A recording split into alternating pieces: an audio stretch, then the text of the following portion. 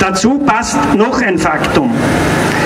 Während die österreichischen Arbeiter und Angestellten sich im Schnitt mit rund 3% Lohnerhöhung, brutto wohlgemerkt, abfinden müssen, habe ich dieser Tage in einer Tageszeitung lesen müssen, die ATX-Konzerne gönnen ihren Managern eine Gagenerhöhung um durchschnittlich 16,9% Dabei sind die milliardenschweren Ausschüttungen an diese Konzerne in Form der Dividende noch gar nicht mit berücksichtigt. Und in der Steiermark Genossen, Freunde, seit 2005 höre ich im Landtag denselben eingefrorenen Posthornton. Wir müssen sparen, damit die Schulen sinken. Wie schaut's aus? 2004, 2005 sind wir in den Landtag eingezogen. Da haben die Schulen circa 500 Millionen Euro betragen. Stand 2018 4,5 Milliarden Euro trotz Einsparungen minus 25 Prozent bei den Leistungen für die Behinderten, weniger Schulen durch die Schulschließungen, Zurückfahren der Infrastruktur durch die Zwangsfusion der Gemeinden, trotz Verschlechterungen bei der Wohnunterstützung, trotz, trotz, trotz. Das heißt, Einsparungen hat es gegeben, aber die Schulen sind gestiegen. Warum ist das so, liebe Genossinnen und Genossen? Das ist so, weil der Blick nur auf die Ausgaben und nicht auf die Einnahmen gerichtet wird. Weil an der verkehrten Umverteilungspolitik von unten nach oben nicht gerüttelt wird. Nirgends. Nicht in der Steiermark, nicht in Österreich, nicht in der Europäischen Union. Liebe Genossinnen und Genossen, vor, ja, es war vor fünf Jahren, 2014, habe ich hier an dieser Stelle davor gewarnt, vor der Unternehmerforderung nach der Einführung des 12-Stunden-Arbeitstages. In der Zwischenzeit haben wir ihn, ist der Realität geworden. Frei nach dem Motto, mehr arbeiten bei weniger Lohn. Industrielle, Konzernchefs, Unternehmer können freilich jubeln. Bei einer Bundesregierung, in der die reaktionärsten Teile der ÖVP den Ton angeben. Was wir brauchen, liebe Genossinnen und Genossen, wäre eine Arbeitszeitverkürzung bei vollem Lohn- und Gehaltsausgleich. Aber bei vollem Lohn- und Gehaltsausgleich. Bekommen haben wir das Gegenteil, auch in der Steiermark. Sicher, bei uns steigen die, steigt die Zahl der unselbstständig Beschäftigten stetig an. Da wird von dem Beschäftigungswunder Steiermark gesprochen. Aber gleichzeitig stagniert die Zahl der geleisteten Arbeitsstunden. Was heißt das? Das heißt, wir haben nicht eine Arbeitszeitverkürzung bei vollem Lohnausgleich, wir haben eine Arbeitszeitverkürzung bei vollem Lohnverlust, weil immer mehr Menschen in diesem Land unfreiwillig wohlgemerkt Teilzeit und geringfügig beschäftigt sind. Liebe Genossinnen und Genossen, wir Kommunistinnen und Kommunisten zeigen vor Ort in den Kommunen, im Land, dass es anders gehen kann, dass man sich nicht den vermeintlichen Sachzwängen beugen muss. Wir mobilisieren die Betroffenen und erzeugen dadurch Gegenmacht und Gegendruck. So haben wir der Landesregierung abgetrotzt, dass sie einige Verschlechterungen der Wohnunterstützung zurücknehmen musste. Wir haben unlängst bei einer Volksbefragung durch unsere Unterstützung erreicht, dass der Landesregierung bei ihrem Spital Kahlschlag in die Parade gefahren wurde und ihr die rote Karte gezeigt wurde, liebe Genossinnen und Genossen. Wir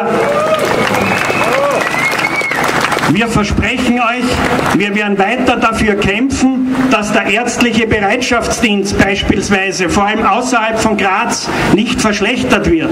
Und wir werden weiter dafür kämpfen, dass die Landesregierung effektive Maßnahmen ergreifen muss, damit den Bezieherinnen und Beziehern der neuen ungerechten Sozialhilfe wenigstens die für sie so notwendige Wohnunterstützung weiter ausbezahlt werden kann.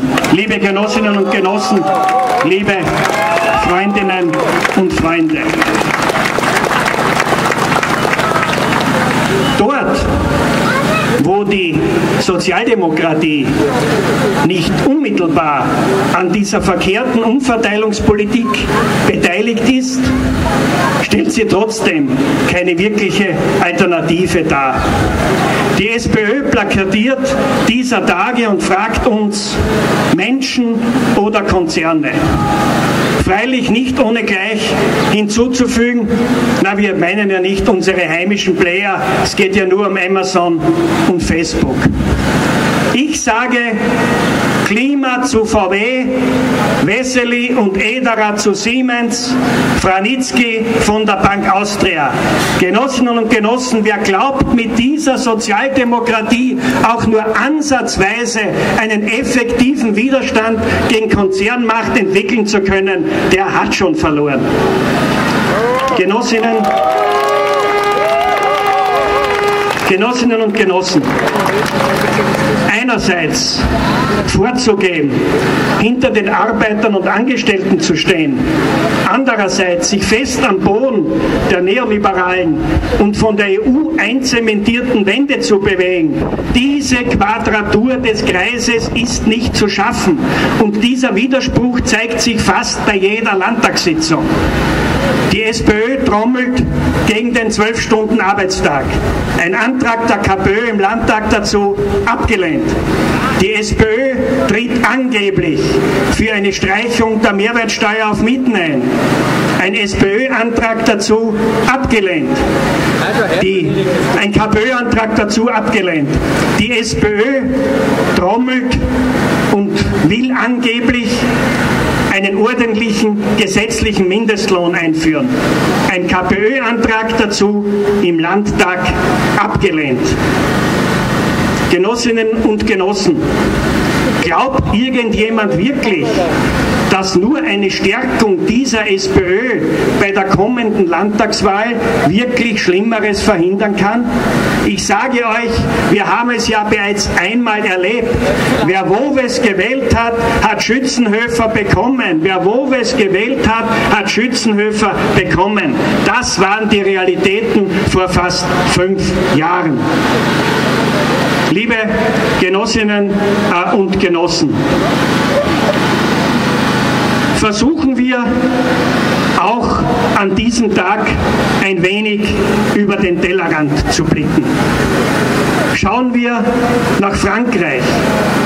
Hier hat sich eine breite antimonopolistische Bewegung gegen die vier Freiheiten der EU gebildet, die ins Mark dieser vier Freiheiten zielt.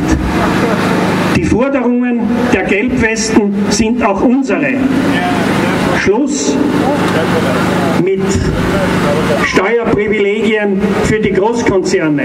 Die Gelbwesten sagen, Große Konzerne sollen großes Geld zahlen, kleine Unternehmen kleines Geld. Eine ordentliche Arbeitslosenunterstützung, ordentlicher Mindestlohn, von dem man leben kann, Schluss mit den Standortverlagerungen der Industrie, Schluss mit Zinsen auf illegale Schulden, Schluss mit der Entsendung von Arbeitern zum Zweck des Lohndumpings. Genossinnen und Genossen, der unlängst verstorbene österreichische Literat Michael Amon hat es vor einigen Monaten auf den Punkt gebracht in einem Kommentar in einer österreichischen Tageszeitung. Er hat gesagt, die vier Freiheiten der EU sind in Wahrheit die Freiheit der Konzerne zu tun, was sie wollen. Das zerstört die europäischen Sozialsysteme, ist ökologisch schädlich und ökonomisch falsch. Genau. Hinzuzufügen wäre, eine EU ohne bedingungslosen Kapitalverkehr, eine EU ohne bedingungslosen freien Waren- und Güterverkehr, eine EU ohne bedingungslose Arbeitnehmerfreizügigkeit, eine EU ohne bedingungslose Dienstleistungsfreiheit gibt es nicht, liebe Genossinnen und Genossen. Was für die SPÖ gilt, gilt auch für den Ökonomen Paul, äh, Stefan Schulmeister. Er will nicht begreifen, dass der neoliberale Bauplan in der EU fest einzementiert ist. Wer wirklichen Fortschritt will, wird diesen Bauplan sprengen müssen, liebe Genossinnen und Genossen. Einen anderen, einen anderen Weg zum Fortschritt wird es nicht geben. Ich habe früher gesagt, vor einigen Worten, wir sollten gerade an diesem 1. Mai unseren Blick auch über den Tellerrand hinausrichten. Und ich habe Frankreich erwähnt und die Bewegung der Gelbwesten. Aber schauen wir auch nach Großbritannien. Hier soll den britischen Arbeitern, geht es nach den Vorstellungen der City of London und deren Agitatoren, gerade der Brexit gestohlen werden. Und deswegen sind wir solidarisch mit der linken Full-Brexit-Bewegung waren es doch gerade, waren es doch gerade breite Arbeiterschichten, die mit ihrem Leave-Votum gegen diese vier Freiheiten protestiert haben. Liebe Freundinnen und Freunde, Genossinnen und Genossen, wie heißt es in unserem Landesprogramm? Nicht die Auflösung des Nationalstaates steht auf der Tagesordnung, sondern seine Umwandlung in einen progressiven Sozialstaat als erster Schritt zum Sozialismus. Leider, leider, liebe Genossinnen und Genossen, verstehen das auch immer mehr Kreise in der Linken nicht. Ich möchte Hans-Georg Bandelt zitieren, einen Aktivisten der deutschen Aufbruchbewegung, der dieser Tage ein Bändchen herausgebracht hat und dieses Dilemma auf den Punkt bringt. Gestattet mir, dass ich einige Zeilen vorlese. Es hat sich die Aufmerksamkeit von der sozialen Konfliktachse auf eine Querschiene verlagert, die von Kosmopolitismus, mehr Europa, offenen Grenzen und des verallgemeinerten postmodernen Lebensstils handelt. Dort, nicht auf der sozioökonomischen Achse, findet derzeit Polarisierung statt. Genau. Und es war ja gerade das Aufgeben des Klassenstandpunktes, der Kollektivität als Kerne linker Bewegung, die den Aufstieg rechter Kräfte in Europa, ja ich möchte fast sagen weltweit erst möglich gemacht haben, liebe Genossinnen und Genossen. Wie, wie heißt es so schön im kommunistischen Manifest, so schön und so treffend? Obgleich nicht dem Inhalt, so ist der Form nach der Kampf des Proletariats gegen die Bourgeoisie zunächst ein nationaler. Genau. Und das heißt proletarischer Internationalismus und nicht seinen Rollerkoffer von einem Flughafen zum nächsten zu schieben. Proletarischer, proletarischer Internationalismus bedeutet, die Bewegung der Arbeiterklasse, ihre Kämpfe in den jeweiligen Nationalstaaten zu vernetzen, voneinander zu lernen, sich gegenseitig zu unterstützen. Das meint proletarischer Internationalismus.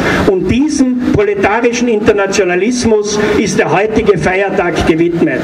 Hoch der internationale Kampftag der Arbeiterklasse, es lebe der 1. Mai. Das war es für heute. Herzlichen Dank fürs Zusehen und wenn euch das Video gefallen hat, bitte teilt es, hinterlasst einen Like oder abonniert unseren Kanal. Danke.